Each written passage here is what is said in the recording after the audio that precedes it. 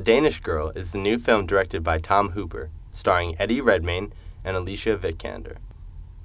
The Danish Girl is a provoking picture, based on the real life of Lili Elbe, one of the first cases of sexual reassignment surgery and being able to transition to womanhood.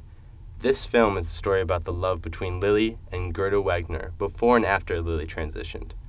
The film has a lot of deep, heartfelt meaning. The performances are great.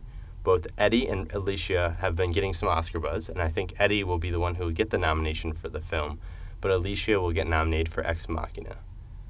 There is some controversy with a straight man playing a transgender woman, but ultimately I think it was the right call. Lili starts out as Einar Wagner and discovers himself as he goes through the film.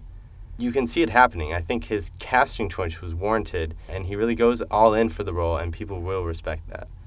The film also has beautiful cinematography and production design. The use of wide shots to establish the European landscape is really nice. The opening of the film has this montage that's just really beautiful.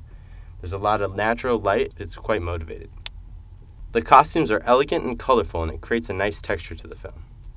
With that being said, I don't think if people will really get this movie. I, I don't know if they're ready for it. I think that the transgender culture is finally receiving some more respect and is conscious in people's minds now.